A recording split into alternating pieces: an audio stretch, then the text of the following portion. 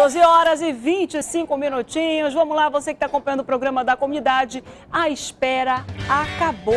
Agora você vai conseguir estudar. Vem para Anhanguera. A gente faz dar certo. Com a educação à distância da Anhanguera, você conquista um diploma igual ao presencial e ainda tem flexibilidade de estudar quando e onde quiser. São mais de 20 opções de cursos com qualidade reconhecida pelo MEC e professores experientes que preparam você para o mercado de trabalho. Essa é a sua chance. Estude em uma faculdade que valoriza sua dedicação e dá apoio que você precisa para poder realizar seus sonhos. Na Anhanguera, você sabe que pode contar com mensalidades acessíveis. Os cursos de graduação à distância são a partir de R$ 149 reais, e a primeira mensalidade são apenas 59 reais. A hora de estudar é agora. Prova dia 30 de julho. Inscreva-se já vestibulares.br ou ligue para Anhanguera 21 21 2000. Anhanguera, aqui seu esforço ganha força.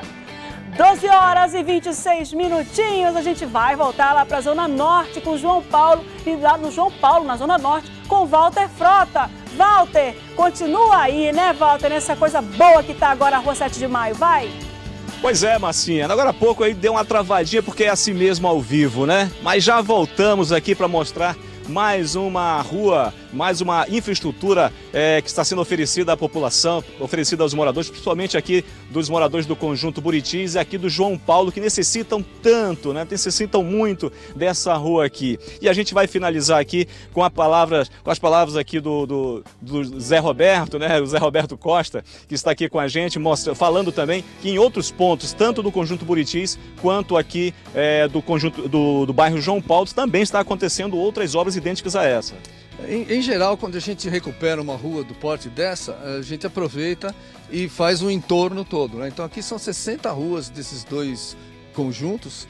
Eu tenho bastante gente aqui hoje fazendo tapa-buraco, drenagem superficial, que é meio fio e sarjeta, eventualmente um remendo profundo onde precisar, que é com eh, brita e pedra e tal, de modo que a vizinhança toda, porque não adianta eu ter uma rua bonita para entrar no bairro, aí o bairro é esburacado.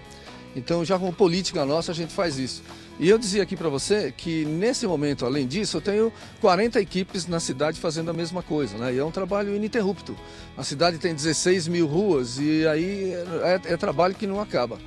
É, eu esqueci de ressaltar uma coisa importante quando falava da rua, da iluminação.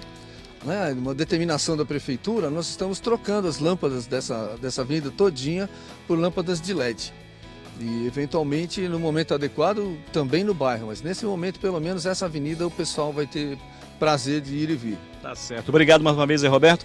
Bom, Marcinha, é isso aí, né? A gente mostrando agora, o Maurício Martins está mostrando aqui os postes, é, a iluminação aí de LED que foi trocada pela prefeitura e justamente que os moradores reclamavam tanto, né, dessa parte que ficava escura na parte da noite, além da, do buraco tremendo que tinha aqui, causando perigo para as pessoas que trafegavam por aqui, os veículos. Por conta disso, o ônibus também não passava mais por aqui, mas daqui a uma semana no máximo vai começar novamente a trafegar novamente o ônibus aqui, que é o 459, que é o que, a linha que passa por aqui. Então, então a gente volta aí para o estúdio mostrando a solução aqui é, que está sendo, pelo menos uma parte dessa, dessa infraestrutura aqui do bairro do, da, do Conjunto Buritis está sendo solucionada. É claro, se faltar mais alguma coisa, a gente vai retornar. Prometo voltar de qualquer ponto aqui de Manaus, viu, Marcinha Lasmar? É com você aí no estúdio. Obrigada, Walter Frota. Chega é bonito de se ver, né? Eu adoro o cheiro de piche. Eu gosto. Eu acho show o cheiro de piche. Olha só, gente, eu só tô, me lembrei agora que eu tava, voltei agora rindo, que eu me lembrei do morador dizendo, tem seis anos que o presidente, como é? Como é, Tiago, que o Tiago morreu de rir? O presidente do bairro não aparece aqui, eu não sabia nem que tinha. E aí hoje ele tá aqui, todo bonito. É, muito, é muita piada, né? Quer ser o pai da obra, ainda disse isso. Quer ser o pai da obra, né?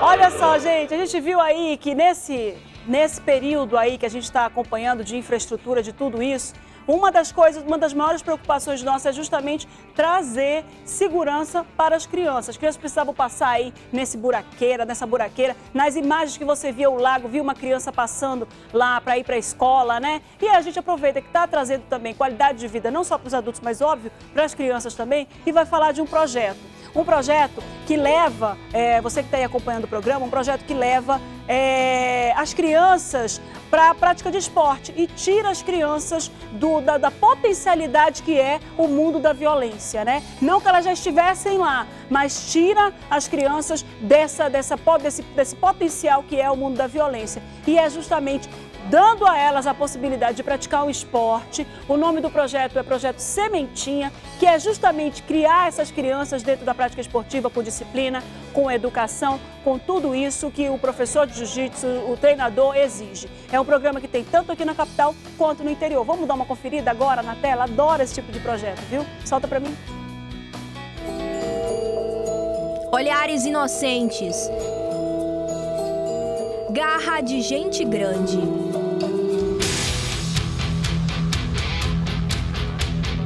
Esses pequenos fazem parte do projeto Semente, no Coroado, zona leste da capital.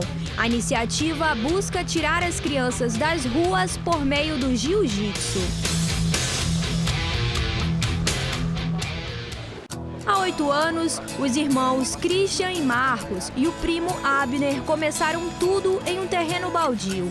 Em seguida, compraram uma lona e fizeram um tatame. O início de tudo foi muito difícil, até porque inserir um esporte em uma comunidade onde a ociosidade é muito grande, precisa primeiramente dar permissão de Deus. Quando Deus ajuda, as, as crianças elas vão procurando, os pais também, porque você vê, as nossas comunidades hoje elas são carentes de uma área de lazer apropriada. Os anos se passaram e o projeto se desenvolveu. Há dois anos, o Semente funciona neste galpão, com aulas para 60 crianças. Conversamos se elas realmente querem se dedicar ao esporte, nós aceitamos toda criança, é bem-vindo no nosso projeto. Esta mãe, emocionada, nos conta que por causa do esporte, o desempenho do filho na escola e o comportamento em casa melhoraram muito. Tanto ajudando em casa, como pessoa, intelectualmente, na escola. O próprio filho reconhece o crescimento. Eu espero que eu melhore muito mais para que eu possa ganhar os campeonatos e também espero que meus amigos evoluam treinando também. Seis horas eu venho aqui todo, todo dia para treinar. Antigamente ficava lá em casa fazendo, fazendo nada. A arte suave do jiu-jitsu foi semeada também no interior do estado. Há três meses, o projeto chegou no Careiro da Várzea. As aulas voluntárias são ministradas pelo Abner, que três vezes por semana vem ao município para trabalhar com crianças a partir dos cinco anos. Nós resolvemos encarar aqui esse projeto, levando para as crianças, tentar também levar o esporte que é tão difícil você fazer um esporte hoje, principalmente no interior. E é aqui na quadra esportiva da Escola Estadual Coronel Fiuza que 40 crianças ribeirinhas têm praticado jiu-jitsu. Essa arte marcial tem ajudado a tirá-los das ruas e também das drogas. E o professor Leomar é a prova disso. Uns três meses que eu comecei a trabalhar em cima dessas, dessas duas crianças, eu consegui livrar eles desse, dessas, dessas drogas com conversa, com trabalho, passava trabalho de escola, é, levava para a quadra comigo para conversar, interagia com ele totalmente.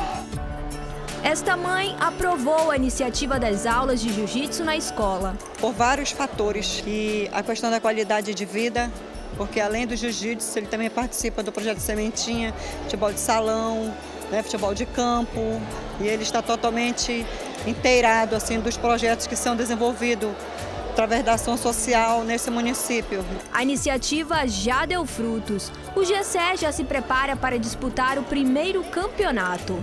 Está sendo muito boa, estou aprendendo golpes, preparando. Eu acho que já posso ir para um campeonato.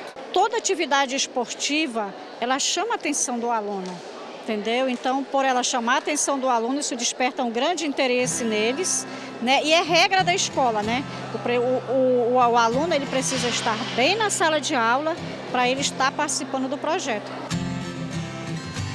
Em Manaus e no Careiro, sementes da inclusão social e da oportunidade de uma vida melhor foram plantadas. E o jiu-jitsu é o aliado principal na transformação desses pequenos em grandes cidadãos.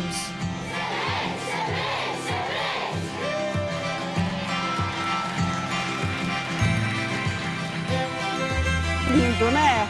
É o projeto Semente do Abner. Todo mundo faz uma organização enorme para poder trazer para essas crianças esperança. Com essas imagens lindas, a gente vai para o intervalo e volta já já.